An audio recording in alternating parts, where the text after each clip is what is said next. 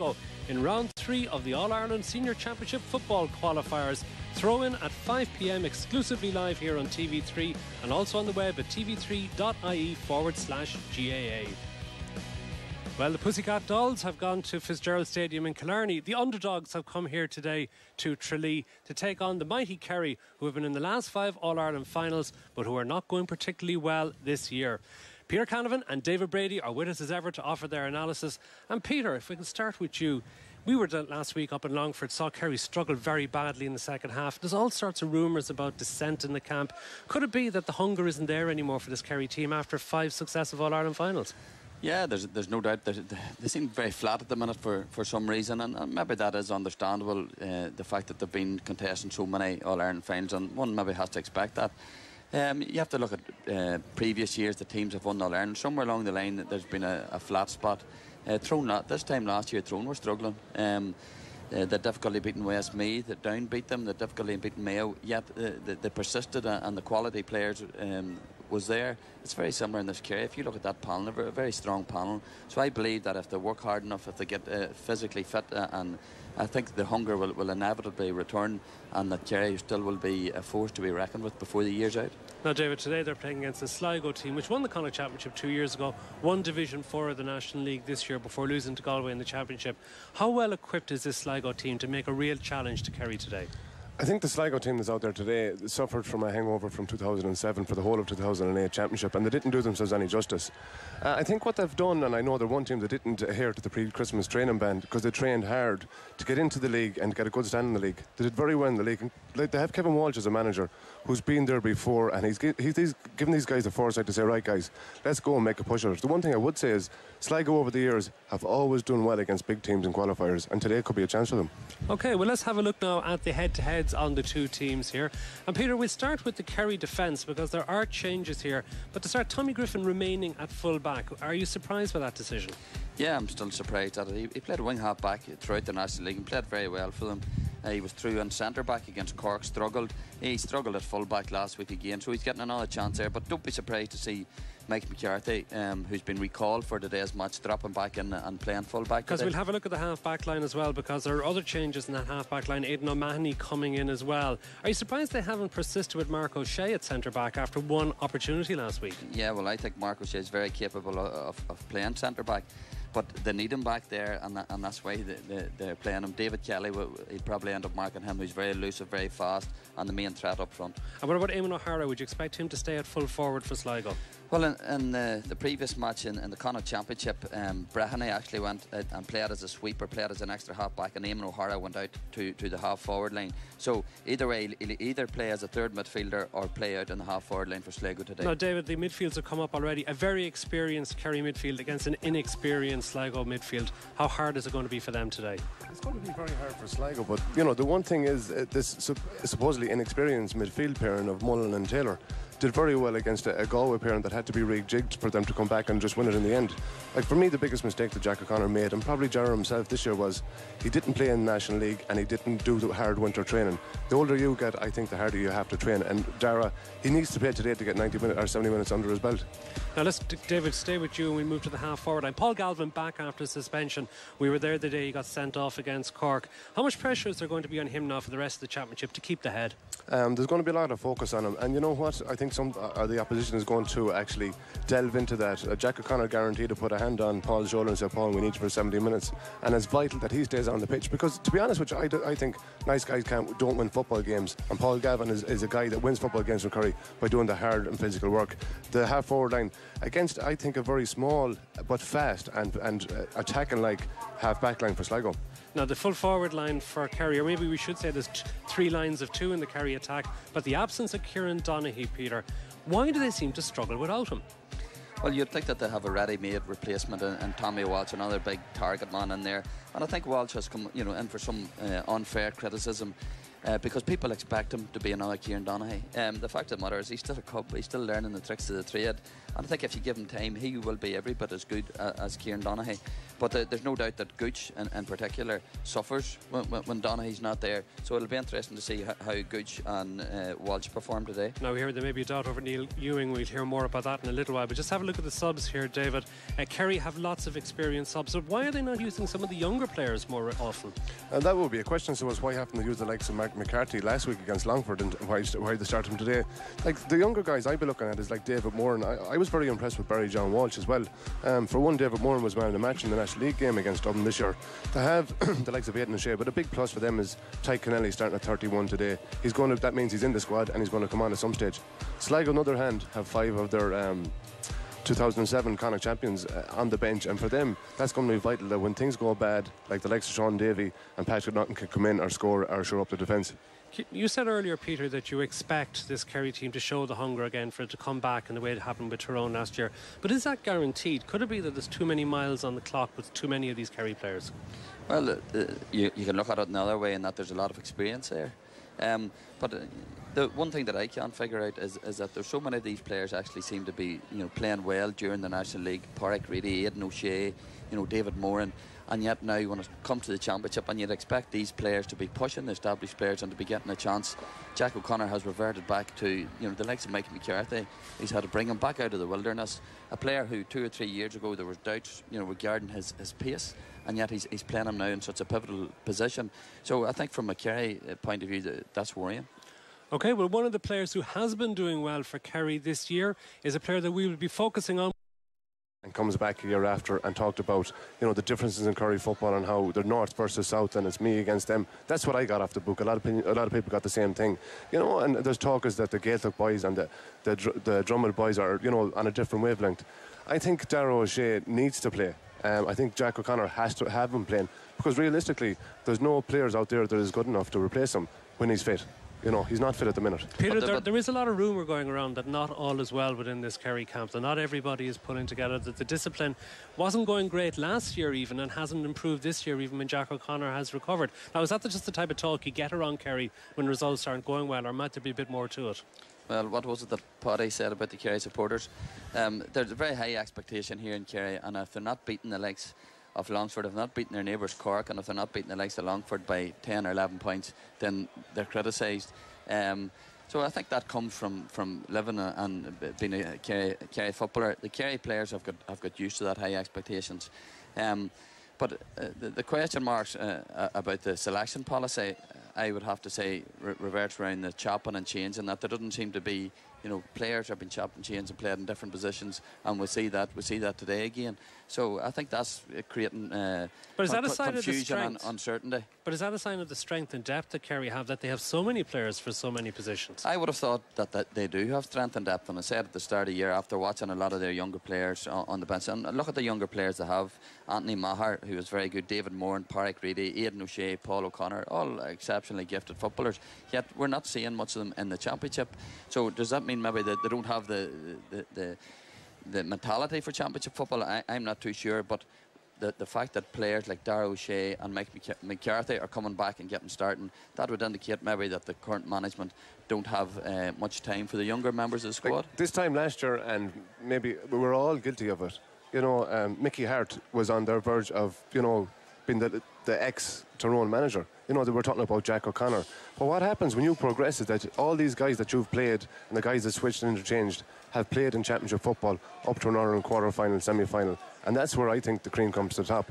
You know, and Tyrone did that last year to surprise us all, but you know, realistically, it wasn't a surprise. We just didn't see it. Well, how did Tyrone do it, Peter? I mean, what, what example have they set for Kerry? Not that I'm sure Kerry people would want to take the example from Tyrone, but what did you do? That meant, meant you came back and were so brilliant in the later part of the season. Jack, Jack O'Connor would take example from anybody if they thought they were going to beat Tyrone this year. Let's make no mistake about that.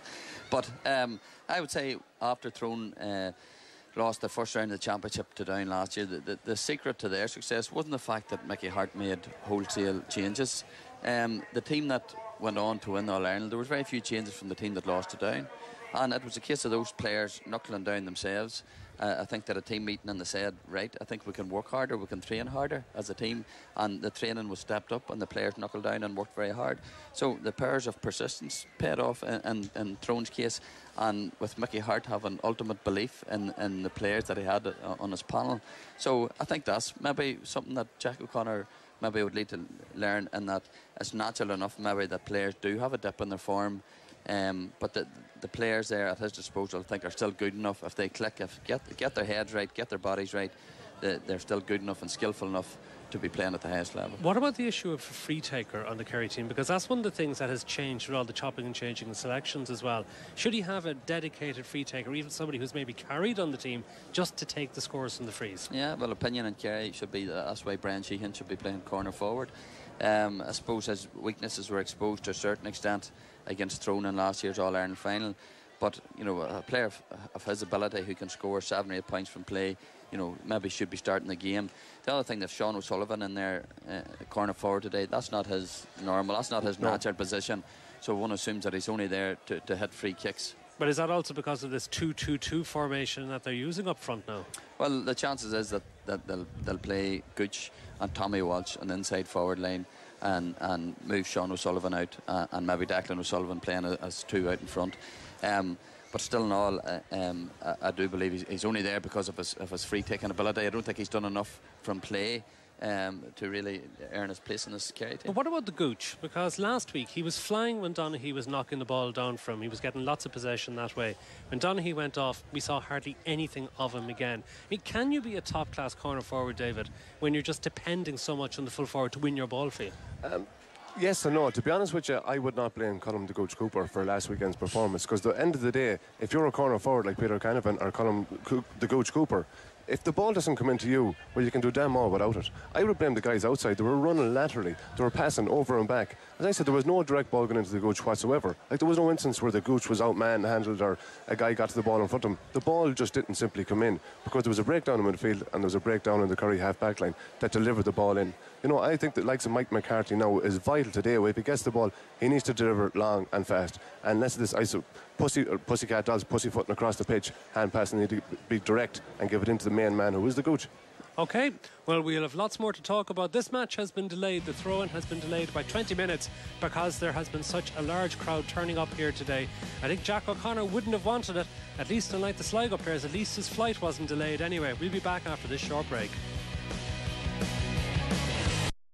that, that Sligo have actually stayed out on the pitch. Kerry have, have went back in whenever they heard the game was delayed, and Sligo have, have, stayed out and are kicking the ball about and nothing too serious. Which is what Cork did that day down in Parky Green yeah, as well. That's right, and it yeah. obviously didn't do Cork any harm. You know, the, the big thing is the, the most important time of the game is when the ball is thrown up by the referee you know, you can be inside thinking about it too much. The guys are just out kicking ball and relax themselves. It's a, it's a, good sign from Sligo for the start. Okay, I want to call in a couple of the results from qualifiers earlier today, because we've already had a couple of matches on. Well, actually, the Kerry team is now coming out onto the pitch, so hopefully that means we will have the throw-in quite soon. That the Gardaí have decided that enough people have been able to get into the ground. But just to let you know about a couple of the scores from earlier on today, and uh, the second round replay, Roscommon finished the job against Wexford 11 points to 8. So Wexford, after all the heroics last year, getting to the Leinster final and then the All Ireland semi final, out in the second round of the qualifiers. But what a result from Mick O'Dwyer. Wicklow beating down by a a 45 in the last minute apparently to get the victory over Down. Yet another Ulster team going down to Wicklow this year. So it's been a great year for Mick O'Dwyer and Wicklow. But let's talk a little bit more about this game and let's talk a little bit more about the Kerry team because, Peter, you've already mentioned about the fact of Mike McCarthy coming back in at centre half. Do you expect this Kerry team, the defence, to line out as selected? Uh, well, again, uh, the, the central axis of the team, McCarthy and Griffin. Uh, I think both players would be maybe more comfortable if, if the, their roles were reversed and if Griffin was out in, at centre half back. Um, I think what Jack O'Connor is doing, he's not giving these players much time to, to uh, embed in a in a position. Aidan O'Shea came on last week uh, at wing half back, his first game, and didn't play that well, and, and he's whipped off. He's, he's on the bench. So I, I think any any defence needs settled players and settled positions, especially in the most pivotal positions, full back and centre half. Okay, let's get predictions from both of you before we go to our commentary team. David, your prediction? Uh, I'm telling you it's going to be close no matter what people think, but I think being here in Austin, uh, in Tralee, in Austin Stacks, I think Kerry have too much class. But I would not be surprised if this game goes right to the wire.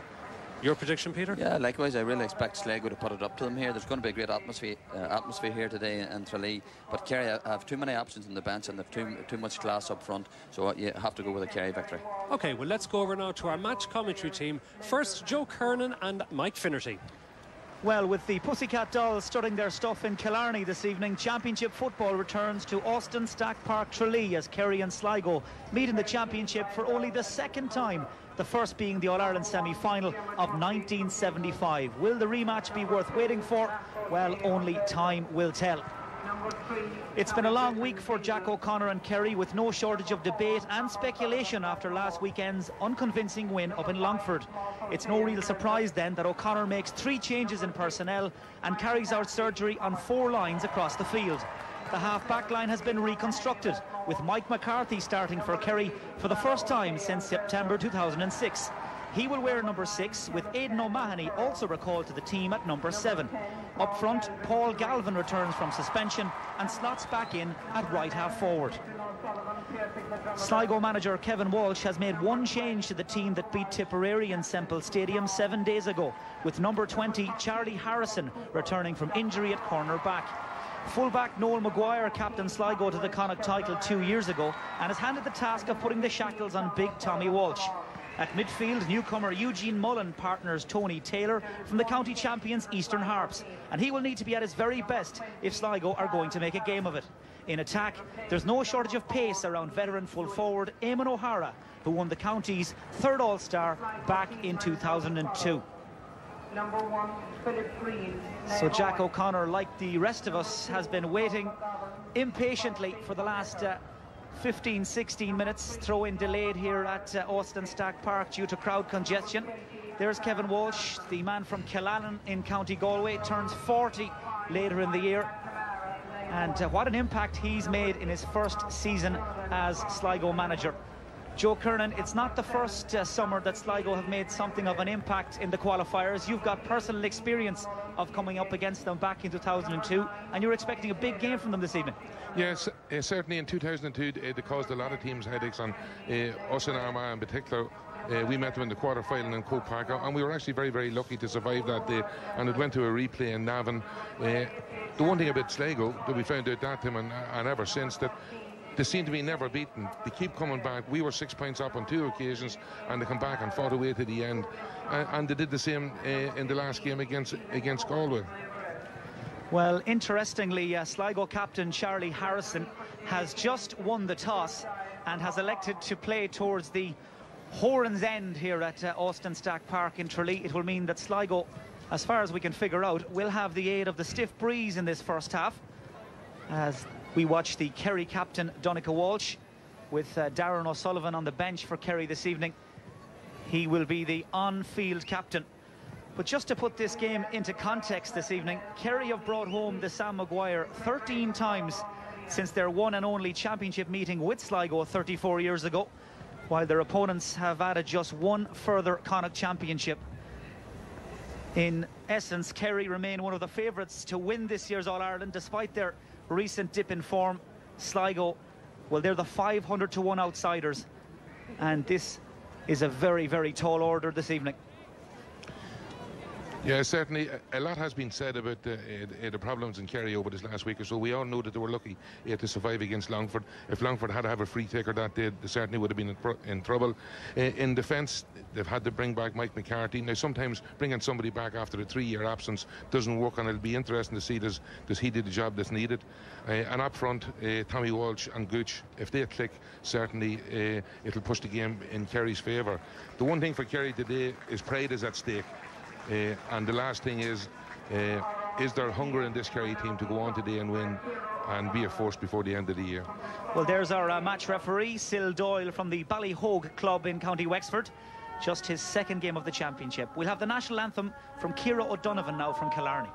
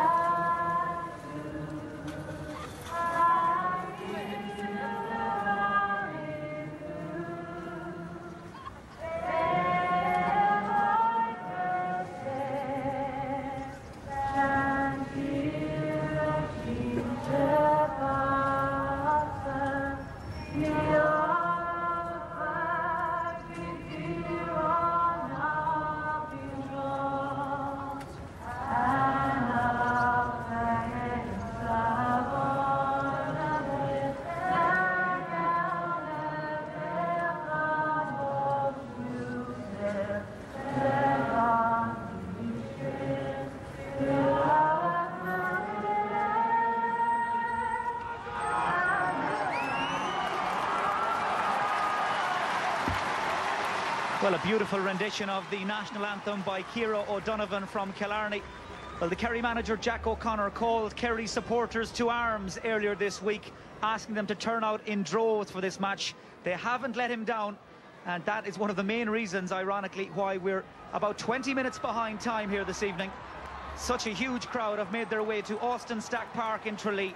It's the first non-Munster Championship match here since 1934 as we bid to find out whether rumours of Kerry's demise have been greatly exaggerated or if Sligo can spring the shock of the summer. They have indeed uh, won the toss, Sligo, and they will play from right to left in this first half, playing in that familiar all-black strip. Kerry, of course, in the green and gold. The winner will take all this evening as the round three qualifier gets off and running at long, long last. Well, Sligo have had quite an eventful day already. Their flight into Farranfore this morning delayed. Uh, they only got to the ground about an hour before the uh, official throw-in time. But they've been out on the field and making the very most of the hold-up for the last uh, 40, 45 minutes. And they'll be hoping to hold Kerry at bay early doors here. A touch for Aidan O'Mahony, back in the Kerry team this evening. Declan O'Sullivan, unmarked and making the most of it. O'Sullivan with a chance to put Kerry into the lead. Good positive start. Well, he may be wearing some heavy strapping on that left knee, but he moved very sweetly there. Yeah, certainly. This all started around the middle of the field. There was a bit of nervousness. The ball was bouncing about, but Declan started to move, and uh, along with Aidan O'Mahony, went down the wing, supported him, uh, and done the simple thing and fisted the ball over the over the bar. So the perfect start for Kerry, Declan O'Sullivan with just his third point of this summer's championship as Philip Green from the St John's club drives his first kick out, flicked into the space by Jonathan Davy. As expected, uh, Eamon O'Hara may be wearing 14, but is currently out on the middle of the field as Mike McCarthy gets his first touch since the All-Ireland final of 2006 in a Kerry jersey and takes the return pass. Doesn't look like a man who's been out of inter-county football nearly three years. As Cooper tees it up for Tommy Walsh. A swarm of Sligo backs blocking up the channels. Galvin. Good ball to pick out Darragh O'Shea, galloping towards the goal. He struck it really well. And the roar of the home crowd will tell you all you need to know. Kerry double their advantage. Darragh O'Shea in full flight. Yeah, this is very, very patient here with the Kerry team, and certainly the crowd enjoyed this one every bit as much as Darragh. Uh, Darragh's been a favourite here for all, uh, for many a year, and certainly that's a good start for him and Kerry. Darragh O'Shea with his uh, third point of the championship, edging closer and closer to his 80th championship appearance for Kerry. And here in the beautiful sunshine in Tralee, Sligo find themselves two points behind. This is um, Mark Breheny to Alan Costello. Going direct to looking for David Kelly. And back there minding the house is Tomas O'Shea. Kerry's defence closing ranks very quickly. Paul Galvin all alone and unmarked. Has a little bit of work to do to uh, take the pass. Darragh O'Shea encouraging him to let the ball go long. Just seemed to get caught in two minds there and possession back to Sligo. Mike McCarthy tussling with Breheny. This is Michael McNamara. Scored a late, late point in the 2007 Connacht final on that great day for Sligo. He's managed to pick out David Kelly. Mark O'Shea, as expected, has moved across to pick him up. McNamara again. man moving into position is Mullen. But the shot from Eugene Mullen was rushed and wild. And that's uh, Sligo's first wide of the game from their first attack. But uh, their full forward line at the moment made up of uh, Stephen Coen, David Kelly and uh, Adrian Marren. And Joe, I know you are looking forward to seeing those three men in particular in full flight. Yeah, but the difference is uh, that they're going to have to get good ball in all the time. You know, while a good ball went, went into David Kelly there in the corner, uh, his midfield uh, partner uh, took, uh, took, a shot in haste there and there was no support. Ball caught by Eamon O'Hara, but uh, Syl Doyle felt there was a hand in the back. Eamon O'Hara and Darragh O'Shea will know each other very, very well. Both have been playing uh, senior inter-county football for uh, 15, 16 seasons at this stage. As uh, Sligo's captain, Charlie Harrison, missed the win over Tipperary. Drives that ball in. Man who lost his footing there was Stephen Coen. Well, he hit the back of the net against Tipperary last weekend. First caught the eye this season with the Sligo under-21s.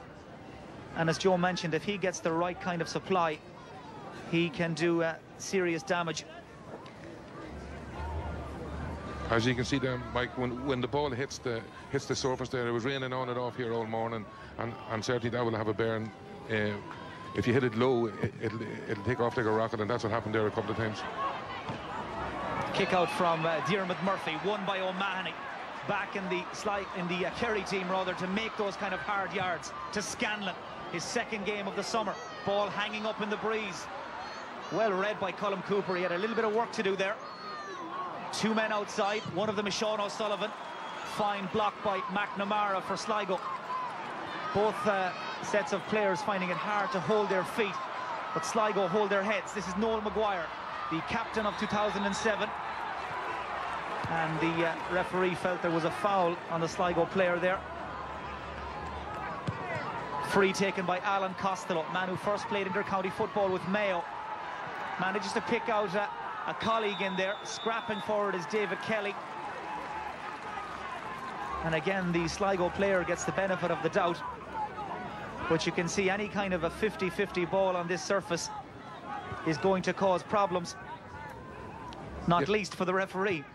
Yeah, well, well, the referees uh, on song so far, but it, certainly uh, Sligo were hitting the ball in fast and early, and that would cause any team uh, uh problems. The corner forwards for Sligo are coming out early, and uh, in, in, this occasion, they get a free for it. So Mark Breheny just trying to uh, compose himself. Very experienced player and a very accurate one too. That's a fine kick with the breeze at his back. He opens Sligo's account after a little under seven minutes, and that will settle the nerves. It certainly will, and any free taker likes an easy free, and that certainly wasn't an, e an easy one out on the wing there, uh, and he'd be happy with that. Well, Sligo manager Kevin Walsh uh, said earlier this week that uh, while this may be a glamour fixture, glamour wasn't what Sligo were after. Well, glamour has certainly found them this evening as the Division 4 league champions find themselves uh, being watched by the rest of the nation up against Kerry as we all wait and wonder if they can rediscover that swagger again that was so obvious in the first half last weekend against Longford. That's a poor ball cut out back there by Noel Maguire. As always, playing from the front. This is Davy and now Alan Costello, the playmaker in the uh, Sligo half-forward line. Extra man back there for Kerry, Darragh O'Shea just sitting in front of his brother Mark, but the break won by Sligo.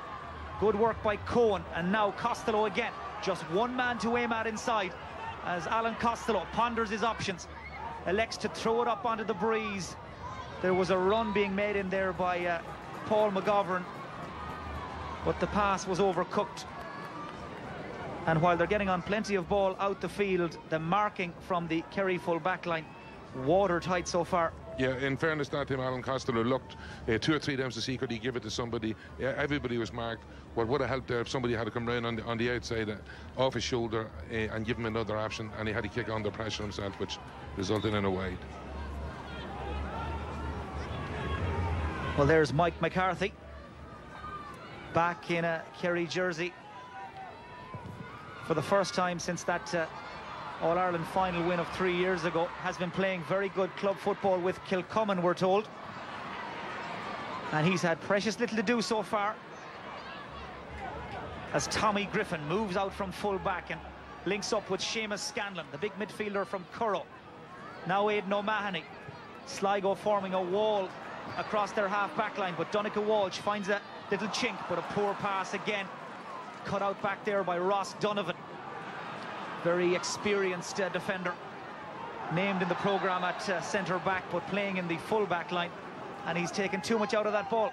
Mike, there's a funny thing happening here in the Kerry full forward. And every time uh, the ball has gotten into the field, now the ball's kicked in the rack. But three or four times they didn't kick it in, and Tommy Walsh and Gooch were there on their own.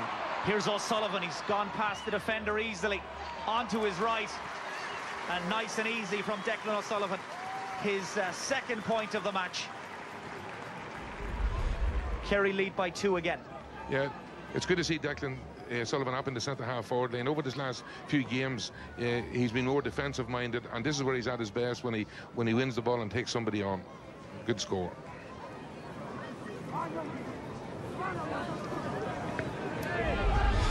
So the game uh, beginning to take shape now, almost 10 minutes gone.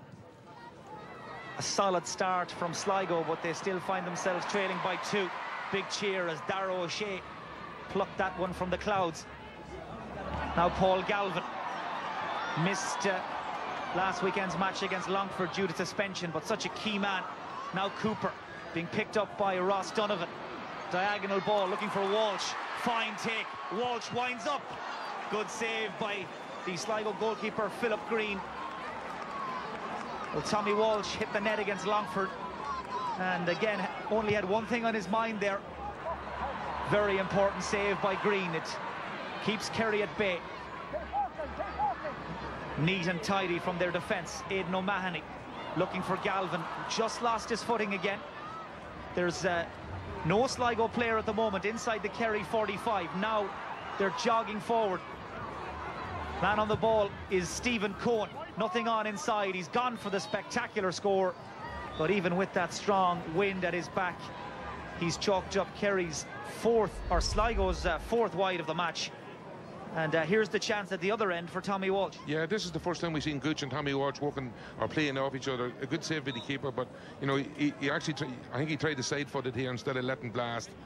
Uh, and it's not like Tommy. He no, he normally likes to hit a lot harder than that, but it was a good save by the goalkeeper. Well, Tommy Walsh uh, using all of his six foot five, 15 stone frame there to get up over Noel Maguire. As Paul Galvin again in there to win that breaking ball. Just fouled as he was uh, releasing that ball. Syl Doyle calling back the play as Mike McCarthy drifts across to the wing. Aidan O'Mahony moving into position. This is Colm Cooper. Again, he's out in front of Ross O'Donovan. McCarthy has stayed forward, reacquainting himself with uh, the pace of senior inter-county football as Sligo organised themselves Man funneling back there was Charlie Harrison. And that latest Kerry attack has petered out. Now Sligo have 12 men inside their own half as Eugene Mullen hits a good old-fashioned up and under into uh, one of the smallest full forward lines in the country. Batted away by Tom O'Sullivan and tidied up by Darragh O'Shea. Here's Galvin, who's moved across to the far side full of running and chomping at the bit today to Seamus Scanlon. Just one man to aim at, and Noel Maguire was alive to the through ball. This is Paul McGovern, plays his club football with the Eastern Harps. To Alan Costello. Again, the quick look up to see where Marren is. He's picked him out too. Adrian Marren takes aim. That's a fine score from Adrian Marren. Sligo's top scorer in the championship leaves us with a one-point game after 13 minutes. Yeah, here we see the score here. Again, a, a great pass to the outside, which caught Mark O'Shea, and certainly just turned, had, had no hesitation, and stuck it over the bar. Well, Adrian Marren did really well to win possession out in front of none other than uh, Mark O'Shea that time, being picked up by Tommy Griffin at the moment. So it's Sligo playing with the aid of the strong breeze, who have drawn to within one point of their hosts. This is Sean O'Sullivan holding up the point of attack. Walsh trying to time his run. Kerry, though, right back where they started. Cooper roaring for it. The pass is delivered just in time. Good defending there by Eamon O'Hara, who's dropped back to give Sligo a seventh defender. And between O'Hara and Johnny Davy, they get the job done. Sligo keeping things tight early on. Adrian Marren, again, just two Sligo players inside the Kerry half. One of them is Stephen Coen, but he was tugging at the jersey of uh, Tom O'Sullivan. And now Kerry must try and break down this Sligo defence again. Aidan O'Mahony looking up. There's that diagonal ball, but poorly struck. And Sligo have been obviously studying Kerry's preferred method of attack and soaking up the pressure at the moment. The, here's Alan Costello from the Coolera Strandhill Club. Pass was poor. And now Donncha Walsh. Dispossessed ball knocked away by uh, Mark Breheny, but uh, he did so illegally. And after about a quarter of an hour, Joe, I think both teams setting out their stall, content to soak up whatever pressure is thrown at them and try and play on the break. Yeah, well, cer certainly Sligo are getting men behind the ball, which is making it very, very difficult uh, for the slick moving uh, Kerry forwards. But on the other hand, there's a lot of space in the Kerry defence, and if one of these uh, sharp low balls in, into the full forward line uh, connects with a, with a man running onto, it, could be danger for Kerry. Donncha Walsh running into heavy traffic here in Tralee. Back to Cooper, denied by the post. Colm Cooper still looking for his first score of the evening. Denied by the width of the upright.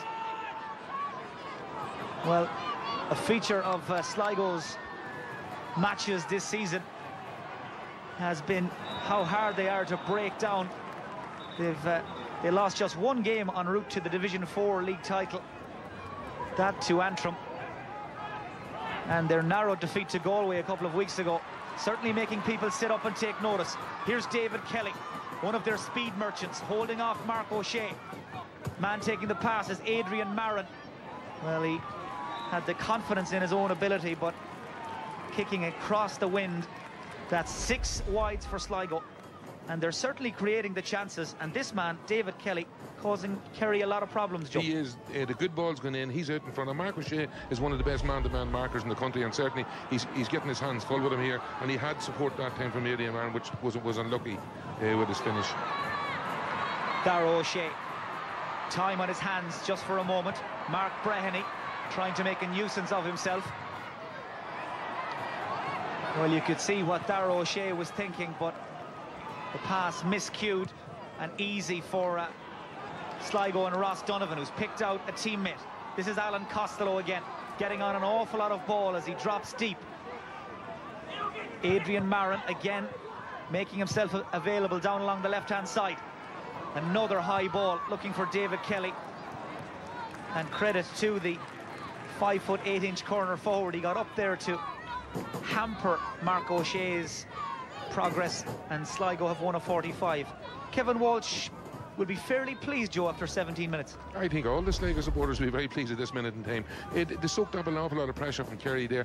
Kerry aren't moving that well up front, and that'll be cause, uh, cause concern to Jack O'Connor. I see him and him and the selectors talking down here on the lane, uh, trying to sort something out. But no, uh, uh Sligo uh, are growing in confidence as the half goes on. So all eyes at Austin Stack Park fall onto the slender shoulders of David Kelly. Struck a very good 45 against Galway. And this one had plenty of legs, but Sligo's seventh wide of the match. And that will be a cause of some concern for the Sligo management team. Kevin Walsh assisted this season by Paul Durkin, Desi Sloyan and Paul Taylor. And plenty of food for thought for Jack O'Connor and his selectors, Gerald Keefe and Eamon Fitzmaurice. Their second half display against Longford last weekend, well, it's been the talk of the county here in Kerry all week. And it's been a sluggish start again this evening. Here's Charlie Harrison, very tenacious player, as is this man, Eugene Mullen. Once more, they're looking for David Kelly. He is the go-to man in that full forward line. And Mark O'Shea struggling to keep up. Kelly, he struck that well. Oh, that's a wonderful score from David Kelly. The in-form corner forward levels the match here for the first time with almost 19 minutes gone. Yeah, this is great what we did. Once again, out in front, won a difficult ball to come off uh, come off the slippy surface. But as soon as he rounded uh, Mark O'Shea, no hesitation from 30, 35 yards and chipped it over the bar. Well done. So, Sligo back on terms. And remember, they have the aid of the stiff breeze in this first half. Diarmuid Murphy's kick out held up in that wind. Break won though by Tomas O'Shea. Now Mark O'Shea, who's been preoccupied with defensive duty so far, now heading off for a little stroll to Paul Galvin. Donncha Walsh breaking to his right, but Galvin driving towards that crossbar. He's gone for the lead score, and he has got it. Fine kick and finish from Paul Galvin. Back in the game as the Sligo goalkeeper Philip Green is down and in some distress. Obviously injured himself in an effort to prevent uh, Paul Galvin's shot sneaking over the bar. Here we can see Johnny Davy trying to chase Galvin, but to no avail. Yeah, that was that was great work from Kerry from back to front. You know, Paul Galvin stood up, went at them, and had no hesitation when, once he get inside to put it over the bar. A good score, and certainly that's just what Kerry needed. Well, Philip Green uh, colliding awkwardly with the goalpost there as he moved across to try and cover that kick. But with 20 minutes gone and Kerry back in front by a point, we're going to hear for the first time from the studio and Peter Canavan. Yeah, we've got a real contest in our hands. I think it was imperative that Sligo didn't let Kerry away to a good lead at the start, and, and they've done that. Um, I think they can, they, can thank their goalkeeper Philip Green for making a great save of, of Tommy Walsh. But they've contained Kerry uh, at the start, and I'm sure Kevin Walsh is pleased with that but he's not going to be so pleased with, with the use of uh, possession up front. Um, it's, it's okay getting men behind the ball, which they're doing, and they're working very hard defensively, but they're going to have to give more uh, coming forward. That they are playing with a strong breeze here in the first half, and if they're going to be in with a chance of winning this game, they want to be going in at half time, Mike, I'm sure, with at least a three or four point lead. Well, certainly it is a very strong wind at Sligo's backs in this uh, first half. Here we can see again how Philip Green picked up that injury. He had eyes only for the ball. And uh, certainly this will be a worry for Sligo. Green in his sixth season with the Sligo senior football squad. Interestingly plays at full back for his club, so he'll be no stranger to be being in the wars on a regular basis. And just looking at the uh, flags around the ground here, Joe, you'd have to think that the breeze, if anything, is beginning to pick up. And that will be foremost in Sligo's minds now, with only a quarter of an hour to go in this uh, first half. Yeah, but with saying that, you know, uh, Kerry uh, in the second half, when they have the breeze with them, they're going to have to use the ball an awful lot better than they're using at the minute. If I was Tommy Walsh, I'd be a very frustrated man in there. He's making runs, and the ball that's going into him in the full forward is very, very poor. Interestingly as well, Eamon O'Hara at this moment has moved right back in again towards his uh, programme position of full forward. Trying to give his teammates out the field something to aim at. I think also there, Mike, maybe he's heading back into the full forward lane for a little bit of a breather, but he, he wouldn't last the pace out in the middle of the field. At the other end, Sean O'Sullivan in side close to the goal, but he hasn't managed to uh, sneak that one inside the post. All eyes on the umpire there for a moment. Looked earlier on in that move like Colm Cooper may have thrown the ball to uh, Paul Galvin. But uh, referee Syl Doyle allowed play to continue. But Paul Galvin causing problems down along the right-hand side. Yeah, we see Sean O'Sullivan cut, uh, cutting in here. Uh, that's a poor miss uh, on his behalf from 10 or 12 yards. Uh, that should be put over the bar. But in, in fairness, you had two Sligo defenders there tackling and harrying him, so uh, uh, they put him under pressure. Again, no clean possession. Alan Costello down around his bootlaces to gather that ball. Manages to dig it out. Takes the return pass from Tony Taylor. Rude one. O'Hara is in there. Bounce deceiving everybody in the end and easy for Kerry's defence to mop that up and start all over again. Yeah, you can see the way Sligo changed their tactics there. They knew Eamon O'Hara was in round uh, the full forward lane and they hit the ball direct in, high down the middle. Well, David Kelly, for a moment there, thought he was in around the back door, but the referee, Syl Doyle, had blown his whistle. There was a little push in the back as that move uh, began to originate. Eamon O'Hara I think was the player penalised. And Kerry have possession again. It's been a slow burning first half so far, but Kerry have done just enough to lead by the minimum.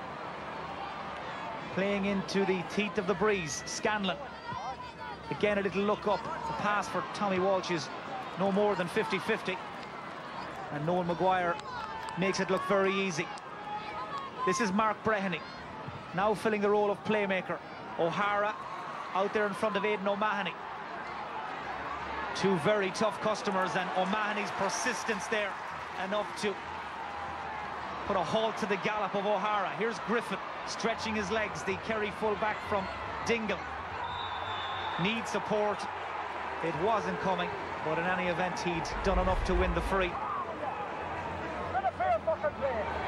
Mike, I think Kerry have a problem in the full forward. Every time somebody gets the ball, I, don't know what they've been doing in training, but every time they look to kick the ball into Tommy Walsh, it, it's either too high or, or, or, to the wrong side of him, and he's getting more frustrated as, as the game goes on. Well, while Kerry may be having some problems with their long ball game, Paul Galvin's short game is certainly reaping dividends. He's won another free. Darragh O'Shea to take.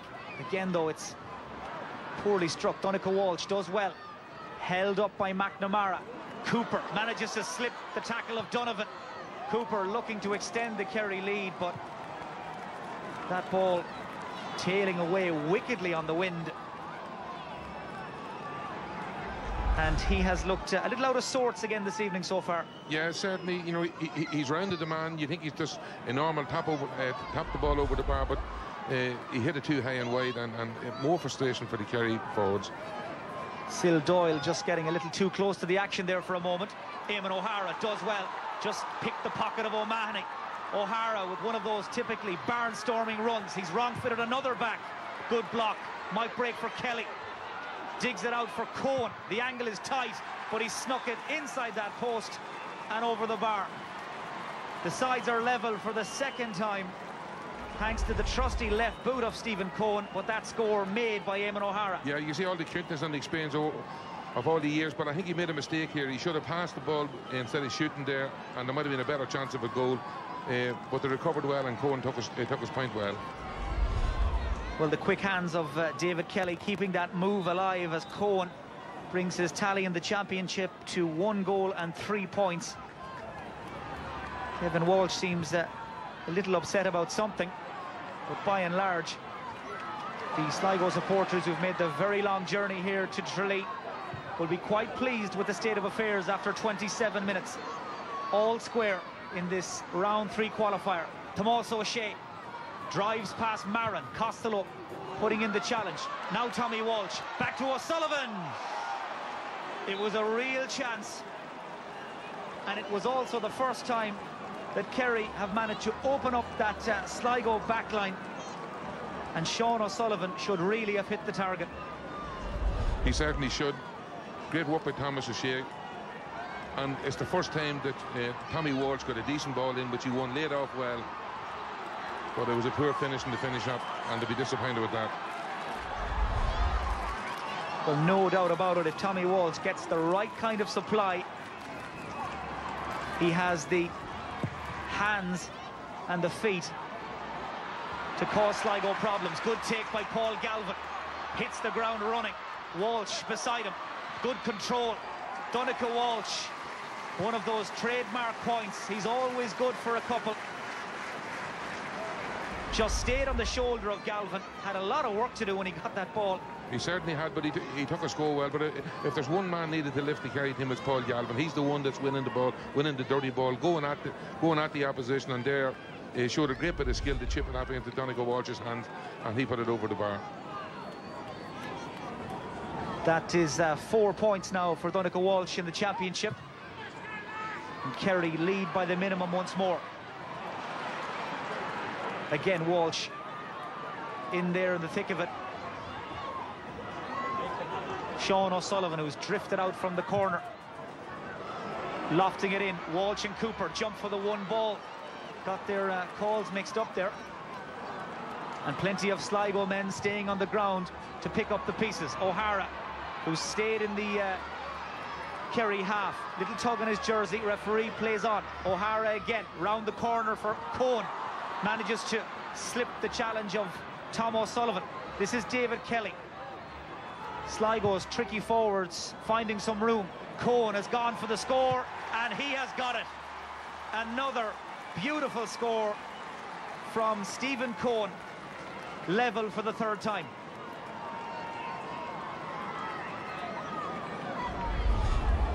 Yeah, you can see these two young men, Coen and Kelly, are causing havoc.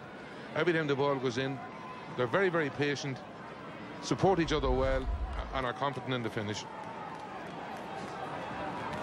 Well, Kevin Walsh, in his first season as Sligo manager, has made an awful lot of progress. And his team matching Kerry right now, stride for stride.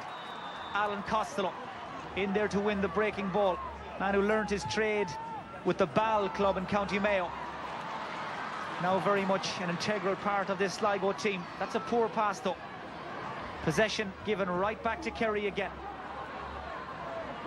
Declan O'Sullivan, who's faded to the periphery of the match for the last uh, 10 or 15 minutes. Linking up with Tomas O'Shea, the angle is tight. Recycle for Tommy Walsh. Little look at the posts. Saw exactly all he needed to. And he makes it look very, very easy. Well, in the absence of Kieran Donaghy, he looks the most reliable finisher just now. Yeah, patience here uh, uh, by the Kerry team. Tommy come out on the outside, which is the simple thing to do instead of uh, heading away towards the goals. And when he got his chance, he, he chipped it over the bar. You know, that's Kerry at their best, supporting and taking the right options. There is uh, Kieran Donaghy. A broken uh, bone in his foot. Looks uh, set to rule him out of the rest of this championship season. What a first half he turned in against Longford last weekend. And the Kerry supporters know exactly now what they're missing. But uh, Kerry have managed to engineer themselves into a one-point lead again. That will do for now. Tomas O'Shea to Donncha Walsh, making an awful lot of hard yards to Sullivan. Sean Sullivan unmarked. Mark Breheny sprinting back to try and put in the challenge. Sean Sullivan gets his kick in. Just faded away at the last moment. That breeze blowing right into his face. It's Kerry's fourth wide of the match. And on the basis of what we've seen so far, Joe, anything Kerry get this evening, they will have to earn it. Yeah, certainly, because as we said before the game, this Sligo team don't know when they're beaten, and the longer the game goes on, the more confident they're going to get, and the more difficult they're going to make, it for Kerry. Yes, Sean O'Sullivan has, had two or three chances there now, and he's been unfortunate. But he, he, he took the right option, he seen the opening, he went for it, uh, and just kicked the ball narrowly wide. So a little under three minutes of normal time remaining in this first half. Declan O'Sullivan kick out was poorly struck. O'Sullivan's handling just letting him down though. Johnny Davy in there. Now Cooper. Ball just drawn to him like a magnet. Quick change of direction. Onto that right foot. Close, but not quite close enough. That's Kerry's fifth wide. Cooper continuing to work back and over across that 20 metre line. But uh, just can't buy a score this evening. Nobody can lack their commitment or, or their work rate, but it must be getting more and more frustrating for the Kerry forwards when uh, when easy chances like that seem uh, seem to go wide. But uh, knowing Gooch, the next ball he comes, he's able to put it in the back of the net. Well, this Sligo substitute that's getting ready to come in is Neil Ewing from Drumcliffe Rosses Point. Was named to start in the programme, but made way once Charlie Harrison recovered from injury. But Neil Ewing is now about to come in. Player who's being replaced is Michael McNamara. Kevin Walsh and his uh, backroom team obviously feeling that uh, a tactical change is required in the half-back line. And certainly Ewing will buzz around this pitch all evening. Game moving again. David Kelly once more content to run at Mark O'Shea. Ewing moving in to take the pass and very obvious push in the back. Free into Sligo. Well, when they get in close to goal, they just love to take on a defender, and it's causing real problems. It certainly is, and, uh, and that's some introduction being brought into the game. I mean, given a pass like that, uh, but it gets them a free, uh, which should be scoreable. Adrian Marren looks fairly straightforward, and that it is. Level for the fourth time here at Austin Stack Park in Tralee. We'll have at least two minutes of additional time at the end of this uh, first half. But for Sligo, Joe, so far so good. So far so good, and certainly the longer this game goes on, the more Sligo are, are, are getting confident. You know, who would have said before the game it'd be coming up to half-time six all, uh, and it's a deserved score too. So everything Kerry do, Sligo match it. You wonder as well on the flip side what Jack O'Connor is going to be saying to his team at the break. Well, it's about pride here now. I'd say when they go to Destin, tactics will probably go out the win and talk about pride in, in the Kerry jersey, and, and, we haven't seen enough of it from all the players. Tomas O'Shea, one man who in the past has dug Kerry out of many tight corners, former footballer of the year. He's picked out Cooper. Back to Galvin, loose for a moment. Just enough time for him to pull that trigger and ease Kerry back in front again. O'Shea, Cooper and Galvin three of Kerry's tried and trusted warriors linking up and Galvin has looked really sharp. Yeah, we talked about leaders and we talked about men shown for the ball. We're after seeing two or three of them there. Thomas O'Shea working hard, giving a good ball in. It wasn't easy for uh, uh, for uh, Gooch to win it, but he turned and gave it to the right man, and, and certainly Paul Galvin has his shooting boots on today. Well, that's two points now for Paul Galvin. His first two of the championship have arrived this evening as we tick deep into the first minute of stoppage time. Mark Breheny. Once more, Kelly is the target. His corner being peppered with ball, and Mark O'Shea just struggling to lay a hand on him. Kelly holding him off, very tight angle. And despite the best efforts of Stephen Coen, that will go down as another Sligo wide. Their eighth of the evening.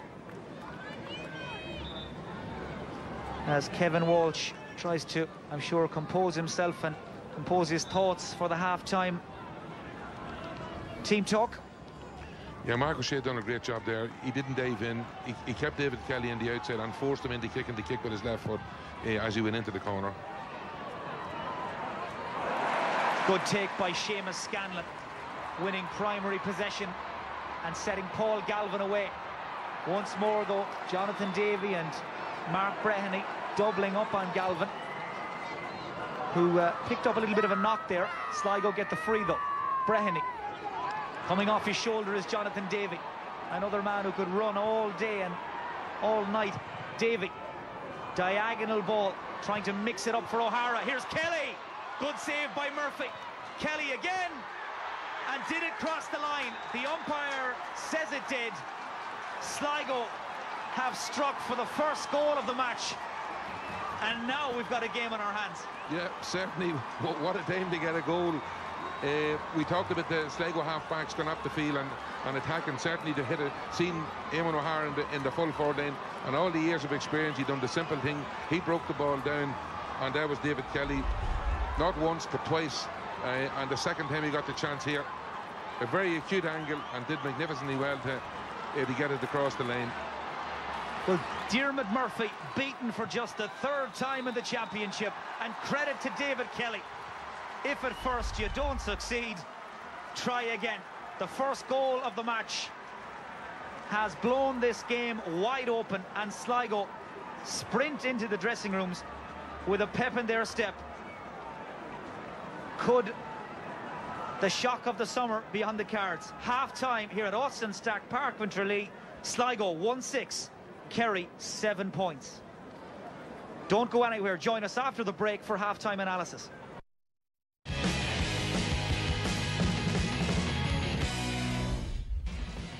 We could be heading for an absolute sensation here in Tralee. Sligo are leading by two points against Kerry in the third round of the qualifiers after a late goal by David Kelly gave them the half-time lead. Let's just look at some of the stats briefly. The Division Board champions, less of the possession, even though they're enjoying a very stiff wind or enjoyed it in the first half. They had eight wides, which they might come to regret, but they did get a goal just before half-time, which has changed this game. And Peter Canavan, did they deserve it? certainly did. Um, in fact, they probably should be more up. They'll be disappointed. They're playing with strong breeze that they're not uh, that they're not more up. I think they've kicked eight wides in the first half, so that tells his own story. But the goal goal chance came. Uh, Eamon O'Hara's moved into the full forward line after about 15 or 20 minutes. Obviously, Walsh uh, felt the, the, the need for a, good target man up, and uh, his uh, move in there has, has paid uh, dividends. The other thing about the goal, David Kelly has been on fire.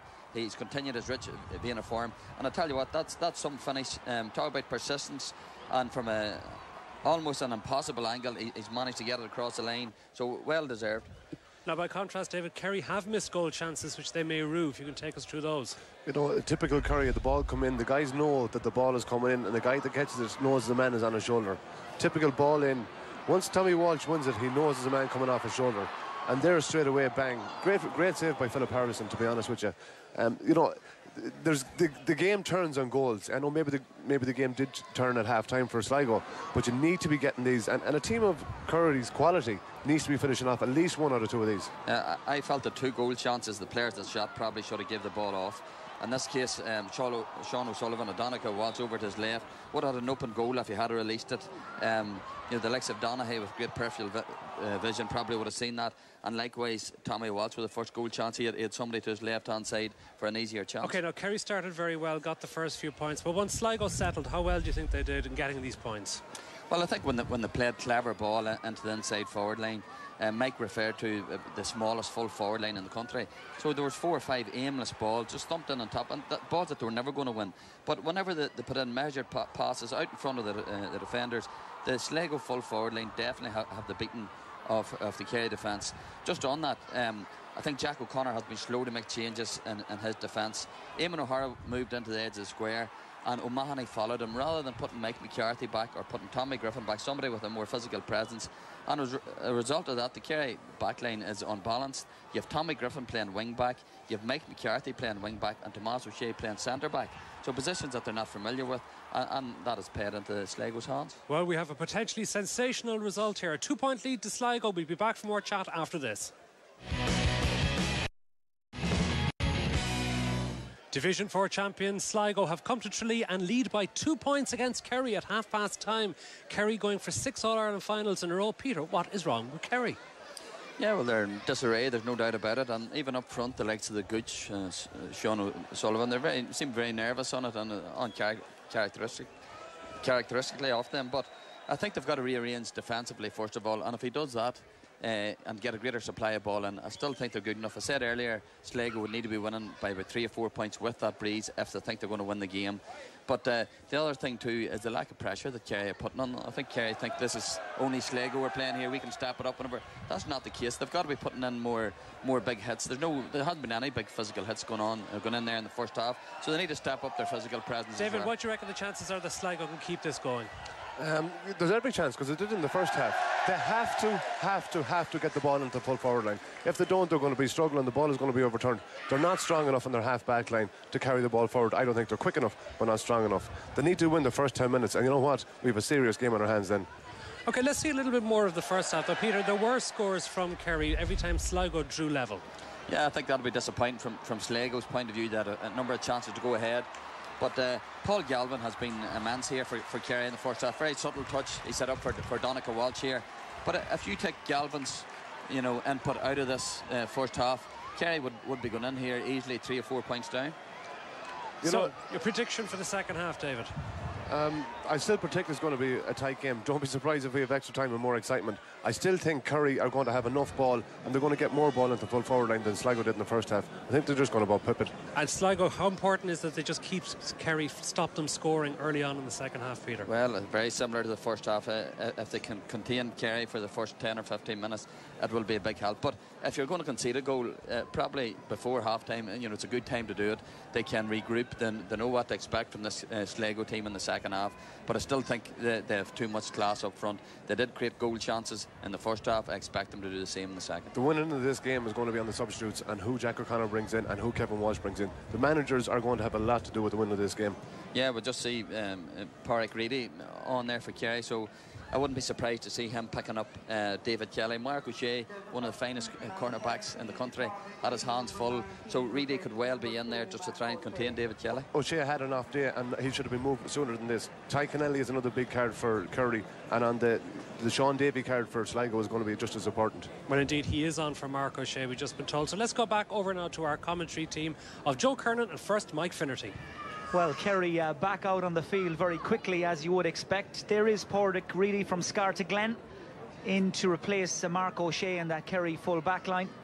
No other changes just yet, but uh, Joe, you were speculating at half time about what Jack O'Connor might have said and what he might uh, do in terms of switches and changes and you expect to see uh, a few more changes very, very soon and early in the second half. Yeah, well, uh, I, I think he'll give this uh, uh the same format up front, uh, go for maybe uh, five or ten minutes. But if it's not working, that's the one area that they need to be more slicker and get the ball in early.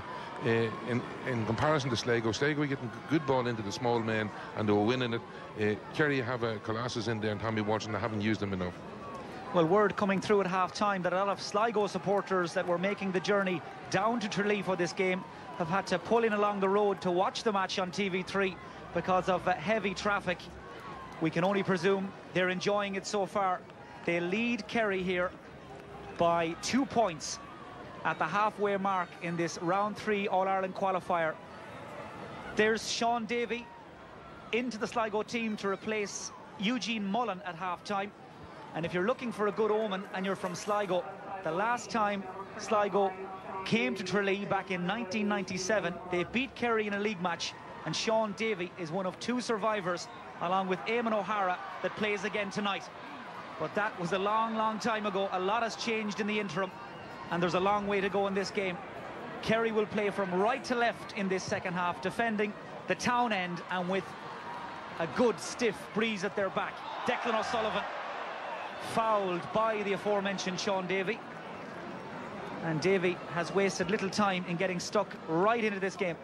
Yeah, certainly. That was a cynical tackle. If uh, Declan O'Sullivan had the breakthrough, he, he would have had an easy score, and Sean Davey certainly wasn't letting him pass.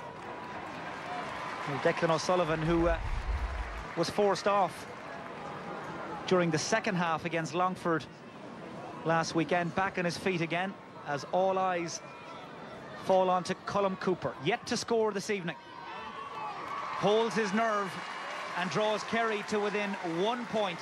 It's just his 13th point of the championship. He scored just five of them from open play. It hasn't been a vintage summer by any stretch of the imagination for Cooper, but that opens his account this evening. Yeah, certainly. He'll be glad to get on the scoreboard. It's amazing to think that in the first uh, 35 minutes that he hadn't got a score, and he was on the ball often enough, and uh, if you want an easy free, that's a good one to get him started.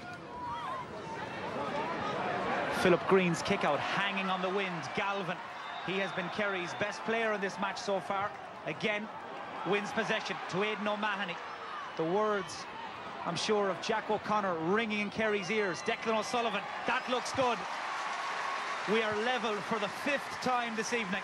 Two points for Kerry in less than two minutes, and they're back on terms. Yeah, uh, Kerry are, are showing what they intend to do straight away here with, with a couple of quick scores, a quick free, men pushing forward and giving and, and taking the right options.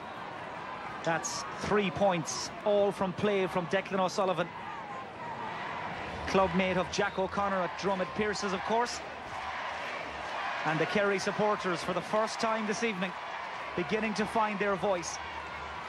Beautiful sunshine now, spraying all over Austin Stack Park in Tralee. For one evening only, of course, it's home to championship football again. And we have got a really good game on our hands now. Breheny added to by Marren. Coen using his body wisely there to hold off Tom O'Sullivan.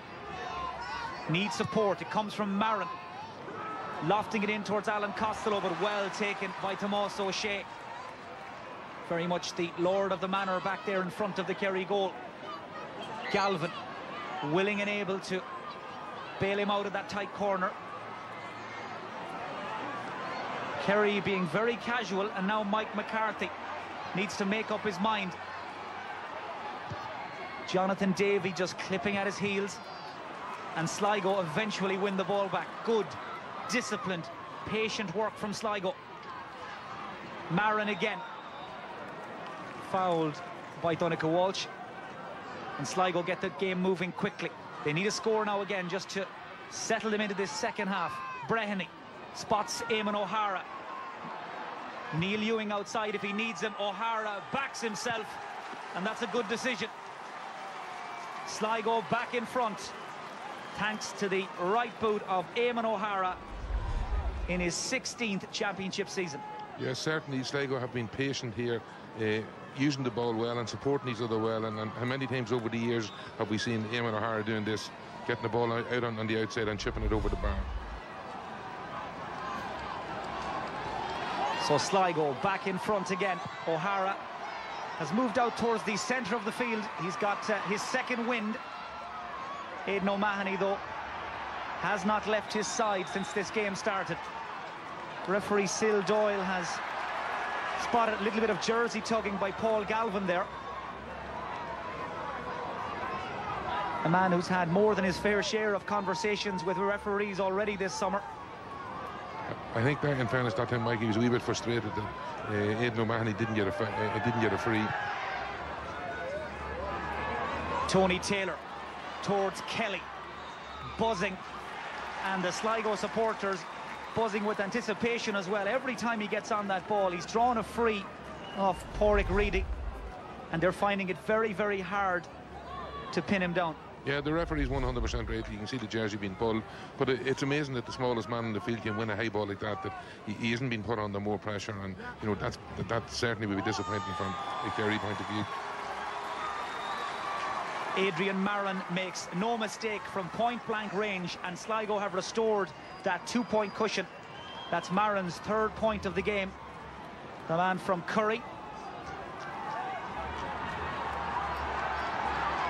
And you presume that Kevin Walsh had accounted for pretty much every eventuality. What about with a half an hour to go, his team leading by two points? And the mighty Kerry in a dogfight here in Tralee.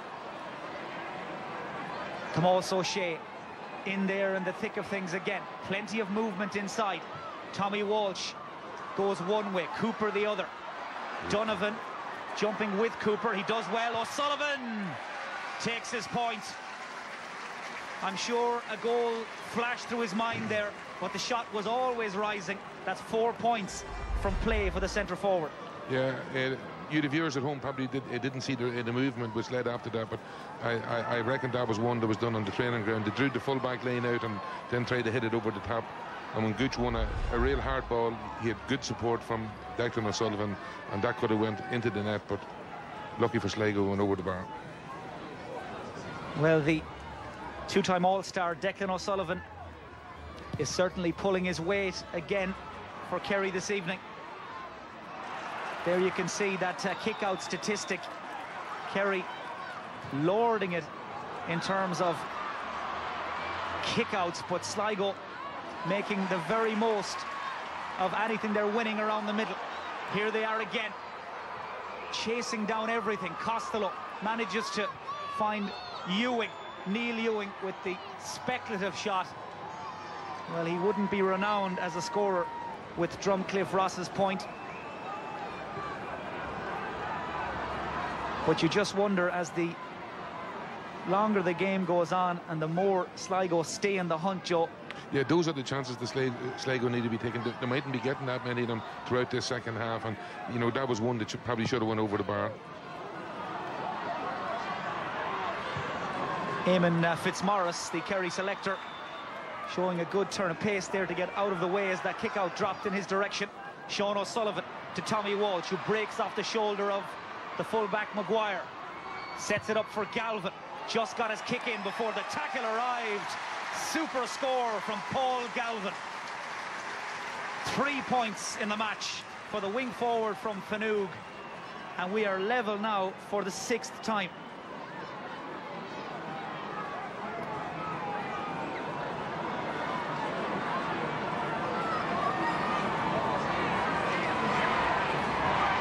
Well, I'm sure Kieran Donaghy would love to be out there in the middle of this the championship, just coming to the boil on evenings like this. This is knockout championship football. Remember, if the sides do finish level at the end of 70 minutes, we will have extra time. And after being level on six occasions already, you wouldn't bet against it. Cooper waiting patiently for Sean O'Sullivan. Tantalisingly close. Managed to hang on to it, and he's won a free. But Colm Cooper had absolutely no interest there in taking on his man. He wanted to feed the runner, and it works out in the end. Yeah, the one thing Kerry have done here, and it's noticeable in, in, in, from the start of the second half, every time they get a free kick, they move the ball quicker. There's space inside, and now they have the, and now they have the men coming off the shoulder. And this is their second free that they got from uh, a, a blatant foul by Sligo. Well, Sligo a little bit uh, reluctant to allow Cooper to take the free. Tap over score, that's his second point of the match, both from frees. But you would have presumed, Joe, at this stage of the summer, if Kerry were to be winning big championship matches, they would need much more from Colm Cooper in terms of scores from play. Yeah, but this is no no, ordinary season for, uh, for Kerry. Uh, they're struggling with their confidence. They, uh, they, have had injuries. They, all they need to do is just win this match. That's all that matters today. That it be one point or five points. It, it's all about winning. And there, as if you needed reminding of his class, whatever about his form, five-time All-Star Colm Cooper. All he needs is one ball. Poor kick out from Philip Green. Donncha Walsh to Cooper. He knows every nook and cranny of this field. He was winding up for the shot there. Now Darragh O'Shea. A Gary Garryowen to test out Maguire. Had it, but uh, lost it again. And Sean O'Sullivan has managed to win a free. It certainly wasn't pretty, but it turned out to be fairly effective. Yeah, who says the old up and under doesn't work? Certainly, uh, when Derry kicked that ball, he wouldn't have been too proud of it. But it's amazing what what can happen when you get the ball into the danger area like that. It puts the defenders under pressure, and it was actually a good steal by Sean O'Sullivan. So a yellow card for Noel Maguire, the Sligo fullback from Easky. Very experienced, he really should have known better. And Sean O'Sullivan from Cromane makes no mistake, eases Kerry into a two-point lead. And all of a sudden, I think the natives here in Kerry a lot more relaxed and looking forward to the rest of this match. Well, uh, I don't think it's time to get relaxed yet, Mike, because, you know, there's still a lot to play, and, and this Sligo team will not quit. Well, there's Darran O'Sullivan, the Kerry captain this season warming up and getting ready to come in. A lot of football still to be played as Darragh O'Shea draws the biggest cheer of the evening. And Aidan O'Mahony, another crowd favourite, manages to win a free. And if Kerry are to dig themselves out of this game this evening, they're going to need the likes of O'Shea and O'Mahony you know, there's nothing better in the game to see somebody going up and catching a ball. And, uh, and Darragh, he might lose the legs, but he, he won't lose the hands. Certainly, he's still one of the best catchers in the game. And he was frustrated there that he couldn't take the, uh, the quick free kick, but they want to keep moving the ball fast. Well, two of Sligo's full backline have now been booked as Tommy Walsh gets the flick. And Philip Green had to be on his toes there and alert as Walsh rose highest to meet that delivery. Now Jonathan Davey. Taken down by Sean O'Sullivan. Jonathan Davey is only five foot seven inches tall in his stockings. And Sean O'Sullivan did not uh, move in properly there to stop him. And Syl Doyle, as you'd expect, has the notebook out very quickly.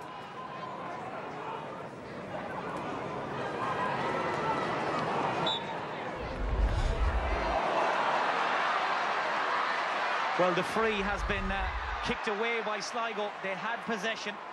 They tried to complicate things, and Cooper in like a flash to intercept the pass.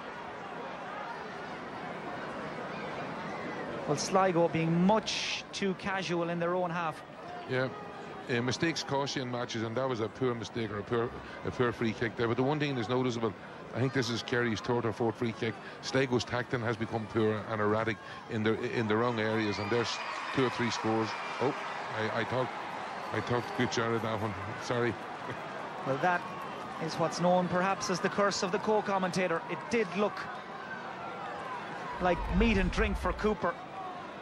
And here in Tralee, of all places, you'd have expected him to put that away. Yeah, that was he'd be disappointed with himself in that. That you know that was a simple free. You know, if somebody at under 12 or under 14 done that, you'd be asking questions, and certainly maybe he'd make up for it before the game's over. Well, Kerry have outscored uh, Sligo in this second half by six points to two. And with 20 minutes to go, it's advantage Kerry, but only just. Here's Charlie Harrison now for Sligo. Their inspirational captain from St. John's, looking for Coen. And again, Syl Doyle felt there was a hand on the back of the defender there. It's noticeable here. Kerry winning an awful lot of the ball around the middle of the field, but Mike McCarthy uh, is playing a sweeper uh, for most of the second half, just playing in front of the full back line. So uh, Sligo wisely didn't play the ball down the middle, they're playing it to the outside of him. Well, that piece of indiscipline from Tom O'Sullivan hands the opportunity to Adrian Marren, and Marren does what he's in the team to do. Kick the score that keeps Sligo in touch. And with 20 minutes to go, they haven't gone away. No, certainly haven't. that was a, a, confident free taken there uh, compared to the one at the far end of the field. And, you know, mistakes like that and, and, and bad defending, diving in when they shouldn't, it can be costly. And, and, and, both teams will have to be careful of that as the game comes to the end. And Sligo about to uh, make a change. Number 21, Gary Gahan is about to come in. And if you think David Kelly or Stephen Coen are fast, Wait until Gary Gahan arrives. Paul Galvin looking very bemused. That free gone against him. The Kerry supporters not impressed either. As Alan Costello is held up by Donncha Walsh. Looking for Coen. Good covering by Mike McCarthy. That's where his quality, three-time All-Star, shone through. And now Tommy Griffin.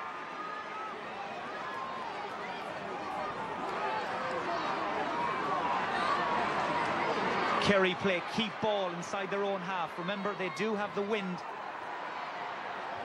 Trying to work it into a position where they can hit that full forward line. Darragh O'Shea decides to let the ball do the work. Jonathan Davey does really well. He took man and ball, and the referee, Syl Doyle, did not like the manner of the challenge.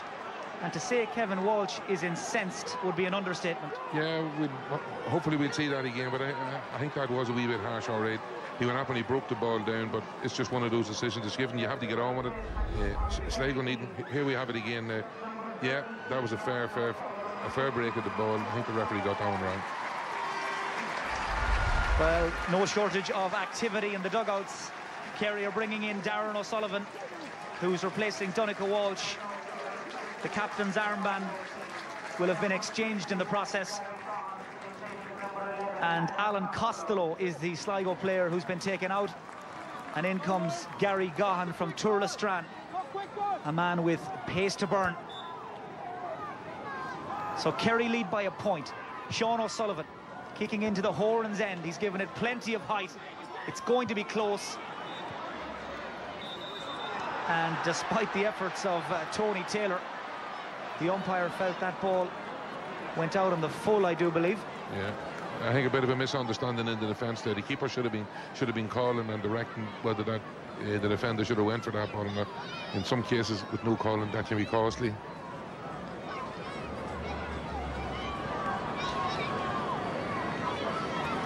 Well, this uh, Sligo's third game of the championship.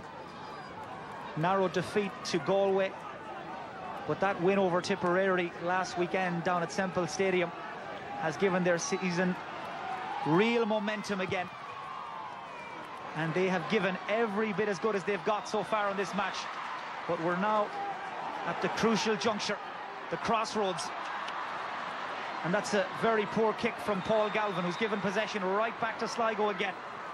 Paul McGovern driving down into the Kerry half. Support inside from Tony Taylor. Sean Davey also once managed to ride the challenge of Scanlon.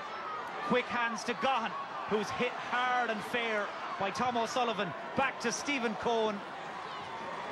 Wide on the right-hand side. Well, the Kerry defence closed ranks there, and Sligo could find no way through. Yeah, there was a lot of Kerry bodies there, and you know Sligo took the wrong option this time, uh, trying to get through the middle, which there was no way it was going to happen. And good defending by Kerry, and, and, and, and the wrong choice by Sligo.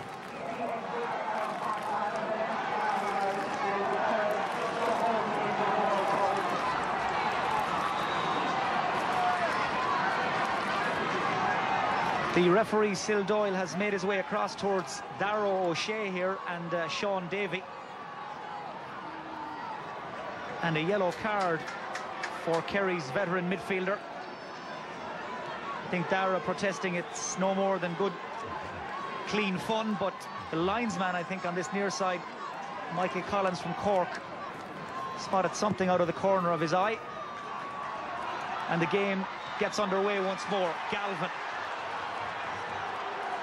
well, when Kerry have needed players to roll up their sleeves and do the dirty work, he has been in there in the thick of it, but he's been penalised again. Sligo committing bodies into attack. One of them is Charlie Harrison, isolated though on the far side. Support from Sean Davey now. Men queuing up. One of them, Gary Gahan, telegraphed his intentions though. A second bite for Davey. Fine save by Diarmuid Murphy. Stretching his six foot three inch frame there up over the crossbar and preventing what looked like a certain score. Here's Tom O'Sullivan now. Nobody prepared to give an inch. Not least Paul McGovern. He's knocked man and ball out over the line. And with 15 minutes to go, I think it's safe to say we can assume nothing, Joe. Yeah, certainly not. Once again, great great work by the Sligo players. You know, they're chasing, they're harrying uh, for every ball, putting uh, Kerry under pressure, and here they now on, on the attack. Stephen Coen, he's got a yard or two on McCarthy. Thought about the shot. A decoy run of sorts from Mark Breheny, but in the end, the shot lacked any real conviction. And Kerry can tidy up. Jack O'Connor, animated, encouraging Pádraig Reidy. This is Aidan O'Mahony. It's a time for cool heads now to Darran O'Sullivan. Linking up with Tommy Walsh. Oh, Walsh, though, was outnumbered two to one, and Sean Davey caught Tommy Walsh. Referee saw very little wrong with it, and away goes Charlie Harrison. This is real championship football now. Breheny, Harrison again. Support from Gary Gahan. Kerry's defence trying to organise themselves and fall back to block up the channels. David Kelly, change of direction. And Mike McCarthy, like a man who's never been away, back there to tidy up. Yeah, certainly, and uh, we've seen Tommy Walsh taking a knock from Sean Davies. Sean will be a seasoned campaigner and used all his physical strength and uh, caught Tommy on the blind side. But once again, Sligo's after after missing one or two what should be easy chances for them. And the worst thing about it is that they, they kept the ball in play, and now Kerry will be, uh, will be looking to attack. Tommy's back up on his feet now, recovered from that. Well, just one point uh, for Kerry, and, or for Sligo rather, in the last uh, 17 minutes as Kerry make a change. This is Brian Sheehan from the St Mary's Club in Cahersiveen. Man who's been taken off, Sean O'Sullivan.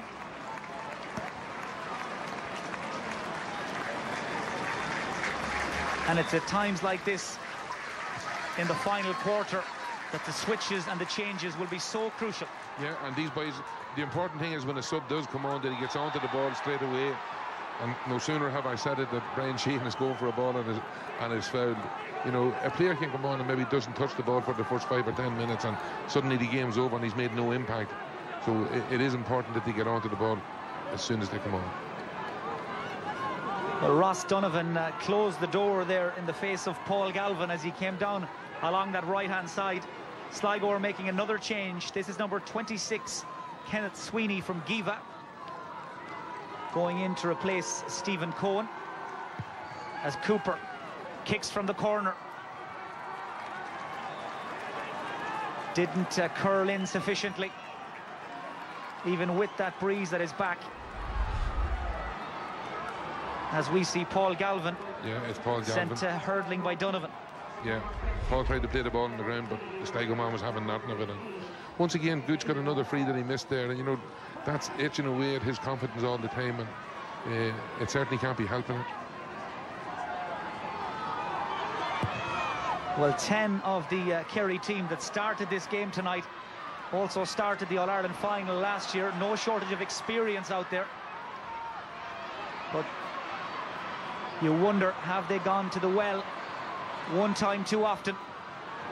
They're a point in front here, though, and looking now to turn the screw. Sligo having none of it. Tony Taylor popping up there in the right place at the right time. Now Sean Davey, who's really put himself about since he came in at half-time. And Charlie Harrison fouled in the end. Yeah, we see Kerry's frustration again, over elaborating that time and trying trying to take too much out of the ball when it was easier just to put the ball over the bar uh, uh, from the outside. A yellow card for Seamus Scanlon. And Kerry haven't scored now, Joe, for 15 minutes. Yeah, it, it's that type of a game that's going from end to end. Both teams are making mistakes, they're taking the wrong options, but you know we still have a long, long way to go, and one or two points will make an awful difference here. There you see Sligo going into the uh, going into the tackle and losing the ball. Thomas O'Shea the same to have to keep using the ball, pushing the ball before the tackle, and spreading it out wide. Tomas O'Shea just uh, taking an awful lot of time there. Will Kerry get uh, a second chance. Here's Darragh O'Shea. Caught by Sean Davey. Gets the move, game moving quickly though. Well, the smallest thing could make the biggest difference here. O'Shea again, just sitting in the pocket at centre back, trying to drive through. You get the feeling now, the distinct impression that any semblance of a game plan or a strategy is long gone. Kerry have got a free.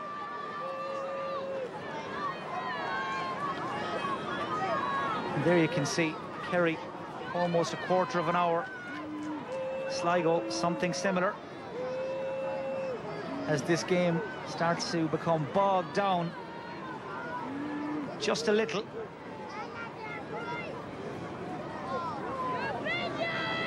And Sean. Davey from Curry has picked up that yellow card and he really has brought a physical presence to the Sligo midfield since he came in at the break. Yeah, that, uh, I presume that's for the uh, the challenge on, on on Tommy Walsh.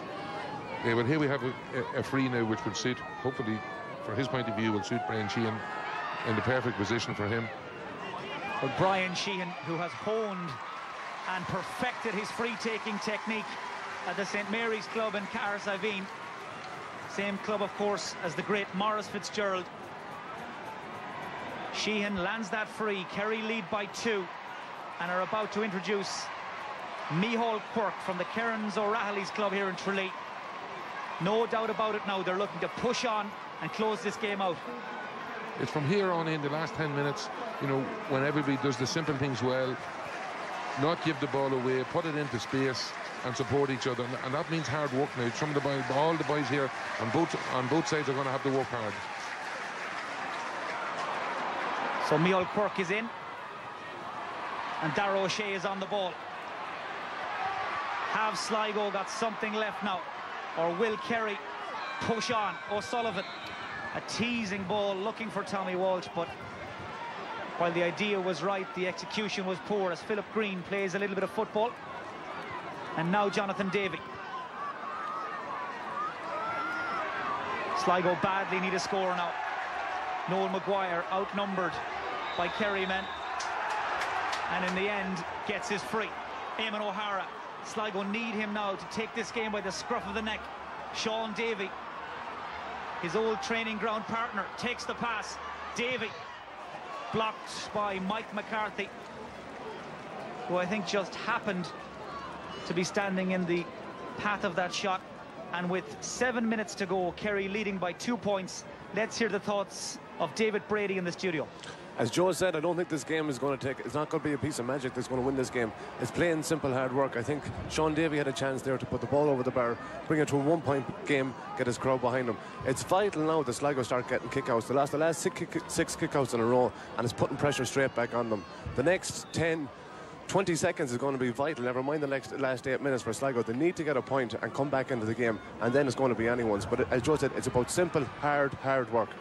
Just one score for Sligo in the last 23 minutes, and David Kelly is off target with the 45. There are six and a half minutes of normal time left. And while the game may be there for the taking, Sligo at this moment looking unable to take that next step. Yeah, there's more and more mistakes being made by both teams here now. And as David rightly said, it's the cool head does the simple thing uh, in the next few minutes. Don't over elaborate, uh, and something might come of it. Jack O'Connor making another change. Aidan O'Mahony making way as Daniel Bohan from the Austin Stacks Club here in Tralee comes in. Player who made a big impact in the championship at fullback last summer. In for these final five minutes of normal time. Kerry's full back line now looking a lot more comfortable than they did in the first half. As Tomas O'Shea hits an inch perfect pass to Paul Galvin. Now Darragh O'Shea and a first touch for Bohan. Will Kerry's substitutions and the fresh legs make all the difference?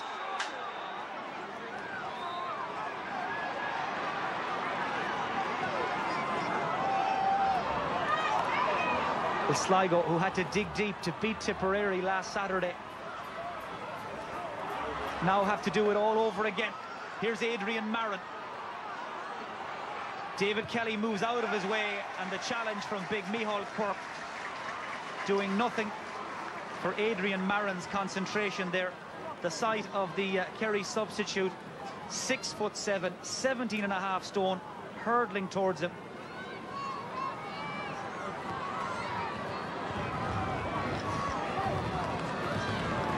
Checking his stopwatch there, Kevin Walsh. It will have told him that time is of the essence now.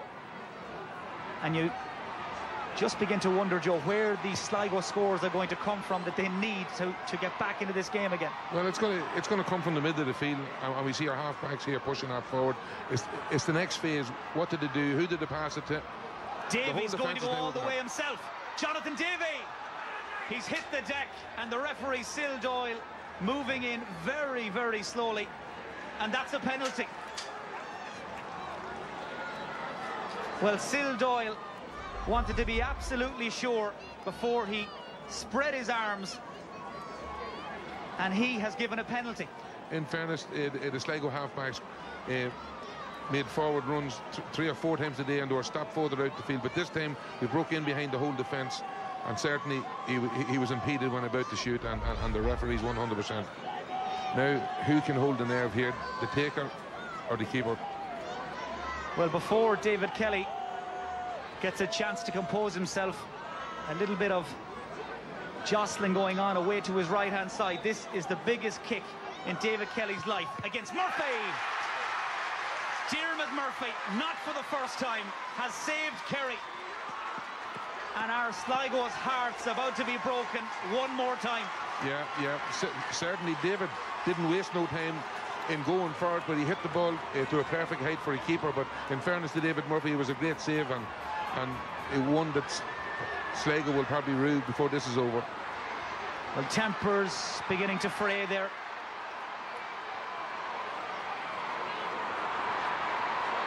The rain beginning to fall for the first time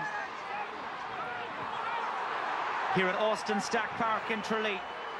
We've had drama, excitement, entertainment aplenty. And it looks like one of those evenings when Kerry may just ride their luck or have Sligo got another kick left. Kenneth Sweeney, he's going to go all the way.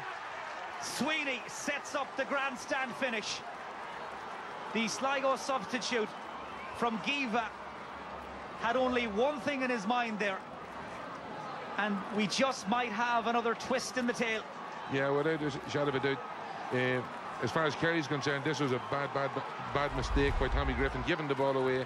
Here we see the penalty again. It was placed down the middle, and I'm not saying it was an easy save. There's none of them easy, but uh, the ball was cleared, and, and uh, Sligo will do that again. Well, gloves are being thrown in from left, right, and centre now. Sligo are breathing on the necks of Kerry. They're reeling them back in slowly but surely. And if they get one more score and manage to hang on, we will have extra time here at Austin Stack Park in Tralee. Kerry have put 13 men back into their own half. They'll want to uh, put this game to bed in regulation time. Gahan trying to control that ball in a very tight corner. And between Micheál Quirke and uh, Tomas O'Shea, they managed to keep Sligo at bay. Joe Kernan. Uh, for the man of the match. It's, I think it's that time of the game, all right. A minute to go. How time flies. it certainly does. Man of the match. In fairness, David Kelly for Sligo was magnificent uh, the whole way through, but one man stood head and shoulders above everything. That was Paul Galvin, and he's our man of the match today. When they needed somebody to stand up, Paul was the man that did it. So Paul Galvin, who's had an eventful summer on his return to the Kerry team this evening, is Joe Kernan's selection for man of the match. A match that isn't over yet, not by a long shot. We're almost into stoppage time. Mike McCarthy what a reintroduction to championship football it's been for him this evening. Now Tom O'Sullivan, still full of running, the left corner back. Sligo hanging on for dear life. One more score for Kerry. And it would be hard to see a way back for Sligo. Quirke to Sheehan. Galvin wants and gets. Galvin wide on the right but it just might be as good as a score. We'll have at least two minutes of additional time. Yeah, and the game and the game's not over yet. You know, uh, Sligo have made a couple of openings uh, throughout the match, and they have possession again here straight away, and, the, and they're on the way up the field. Kick out taking short by Sligo, but Tony Taylor has lost out to Darran O'Sullivan and Neil Ewing, who's already on a yellow card, coming across Darran O'Sullivan and has his name noted. He's walking a very, very thin line now. Mike, sometimes subs don't uh, don't get credit for working hard, and Michael Quirke has come in here and made two two good tackles and two good challenges when Sligo looked like scoring, and, and certainly he deserves a lot of credit for his work rate since he came on. Well, Kerry, who have never lost a game in the qualifiers, can they close this out? That's a huge kick from way out on the far side from Daniel Bohan. Again, he kills the ball, and Sligo will have to build right from their own half. But Sligo have given Kerry the fright of their lives here, Joe. Yeah, and that's what we expected from Sligo. You know, Kerry, this game will do Kerry the world of good. They'll have a few more faces back. This will help their confidence, but certainly Sligo are one of, the, one of those teams that you didn't want to meet. And as Joe has been saying all evening long, the longer Sligo hang in there, the harder it is to put them away. Taylor has to go back out, but Sligo have possession. They need to make this attack count. Sweeney just hanging out of that ball for dear life now, surrounded by Kerry men. And Tomas O'Shea bursting out in typically inspirational fashion and fouled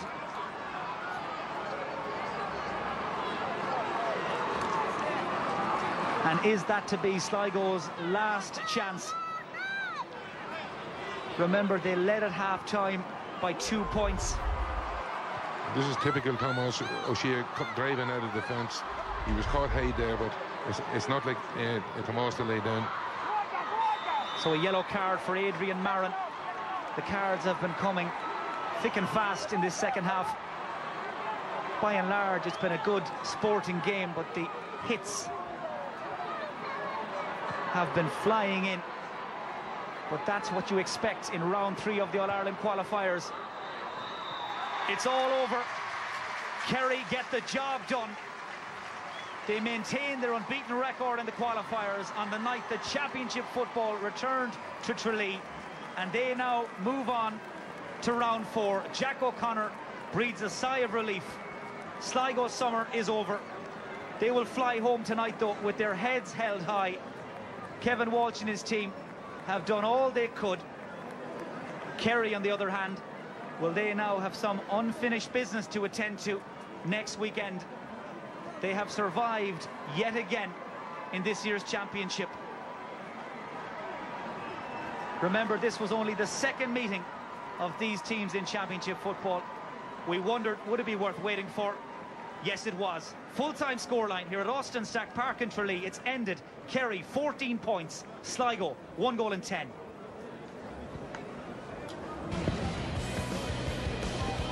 What heartbreak it was in the end for Sligo.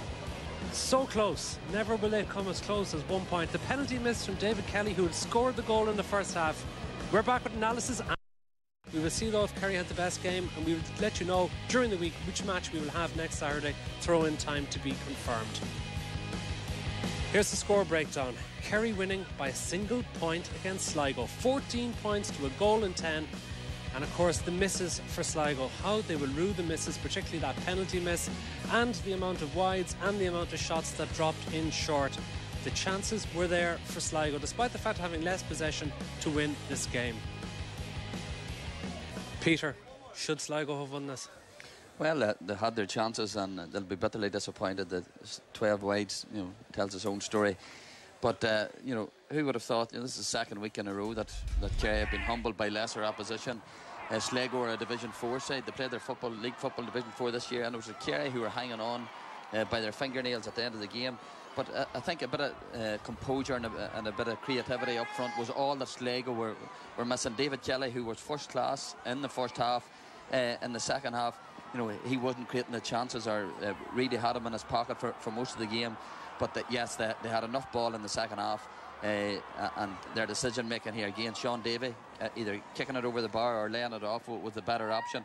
But time after time, at a crucial stages, they, they done that. So yes, uh, moral victory goes to, to Sligo, but a big opportunity missed. And David, when it came to the penalty, you were actually shouting in here to put it over the bar at that stage of the game. Why? Because the whole thing behind it is you're showing the amount of confidence you have in saying, right, we don't mind being one point behind. Like Sligo, it was a great run by Jonathan Davey, who was absolutely fantastic, I thought. You know, has become of age today and the runs he made forward. The speed of him, you know, took him ahead of the players and he was taken down and was a penalty. But when you have six minutes left, if you put the ball over the bar, I know you can say, right, a goal would have won it. You think with all the soccer players that happens, like, you know, I wouldn't blame poor Kelly on it. Yeah. But the thing was, they'd be a point down, but there was five and a half minutes still to play, and Sligo had the momentum. No. I just think it's such a big decision to get it or to miss it. But to miss it, you, you always lose the game. Yeah, well, always. Of course, it's a big decision, but. Um, uh, I think he had to go for a goal, David. They were playing against the breeze. Um, Kelly's a confident player. Um, I, I it wasn't a confident penalty, though, well, it? I think he'd done the right. He made the right decision by, by going for a goal. My God, that Kerry, you know, if that penalty had went in, Sligo would have won the game. So I think he made the right decision. Uh, goalkeeper made a good save, albeit he hit it at, at, the wrong height again. I think the best way to beat Dermot Murphy is low, keep it on, on, on the ground. So uh, the other thing that what the penalty did show again, of course, was the lack of, of pace in the centre of, of the Kerry defence. There's no way should you know a, wing half back come straight through the middle of your defence. And, and, numer- and numerous times it happened all day. They said once the Kerry guys seen the likes of Jonathan Davey on the ball, foul him 40 yards out, 50 yards out, break the ball down there and don't let them go forward. Now, Joe Kernan did pick Paul Galvin as man of the match. We'll be talking to him in a minute. Let's just see a little bit of the things that Paul Galvin gave to Kerry on his return after suspension. Well, he, he was always uh, a threat, even from the very start. He was one player. I think Paul let, uh, felt after the, the Cork game in which he was sent off, he, he was you know badly let down, and uh, he was determined to prove a point today. And by God, he, he done it. Driving surgeon runs, um, but what he also done, he was able to win his own his own kickouts. You know, and for someone uh, not the biggest in the half forward line, uh, great spring, great determination to, to fetch his own ball time after time. Yeah, like in all fairness, I have to put my hand up you know, it's great to see a, a player like this and at, at, what he's gone through and the criticism he's got to come out and produce the goods by playing football. Um, any decision today that was went his way, he deserved it. Like at the end of the day, it, it takes. I, I, think it's hard, rough, and tough players to win the game. Curry are not nice fellas, and Paul Galvin is a pure example of a of a rough and tumble footballer. Okay, well let's hear from the man of the match, Paul Galvin. Well, congratulations, Paul Galvin. You are our GAA man of the match. Sean Walsh, Vice Chairman of the Munster Council, is here now to present you with your award. Paul, at the skin of your teeth, what was it like out there? Was there much panic in the Kerry team? Um, yeah, we were, it was probably a bit too close for comfort, but I don't think there was any panic at any stage because, you know, the, the kind of the buzzword at halftime was not to panic by, by Jack, and, and we knew, you know, given the way we came into the game, that you know we haven't been firing on all cylinders, and that it might, it might be a dogfight, and it turned out that way. So I think it wasn't so much panic, but you know we were definitely hanging on. Paul, what everyone wants to know is why aren't you firing on all cylinders? I don't know. I'm not too sure really. Or we're, we're just trying to find a bit of form. I think. I think you know possibly we've been on the road a, few years together, and um, you know we're just we're just looking for that bit of form. But I mean, you know, the qualifiers are always tough games, and I don't think there's ever an easy game in the qualifiers. And these Sligo team, I watched them play Galway, and they were very unlucky not to beat Galway. So I mean, you know, like no, dis- you're probably being dis- we're probably being disrespectful to Sligo in a way because they're quite a good team, you know. You said there you've been on the road for a while. Is mental fatigue a factor? I don't think so. Not for me anyway. I, I, I haven't been on the road in a while, so. I don't think it's that big a factor personally, but I mean, yeah, well, I know we, we, we brought in legs towards the end that made Daniel Bohan and Darran Sullivan, you know, brought a bit of freshness to it in the second half, and uh, I don't think so. I don't think so. It's just, that's just you know, just got to fight, fight, our, fight our way out of it and keep keep going and, and, and find our form, you know. Mr. Paul, thanks. Thanks very much. Well, Peter and David will be telling us why Kerry aren't firing on all cylinders straight after this. Kerry are in the fourth round of the qualifiers, only just after a one point victory over Sligo here in Tralee today. So tell us, why are they not firing on all cylinders? I think there's a, a severe lack of confidence there at the minute. And, and no one epitomises that as much as a Gooch. Um, on, on his day, he can win a game on his own. But out there today, again, maybe it's the absence of, of Donaghy, who, who knows. But uh, for a player with so much experience and who's been there, done it before, um, he, he will be extremely disappointed with, with his own performance. Now, that's not to say that his season's going to click in, into gear when it really matters, but uh, once again, uh, for, for, again, for a player of such ability, he, will be fiercely disappointed. But don't the odds have to be stretching now, David, that Kerry can suddenly find the form? Because they've been playing so poorly so far this season.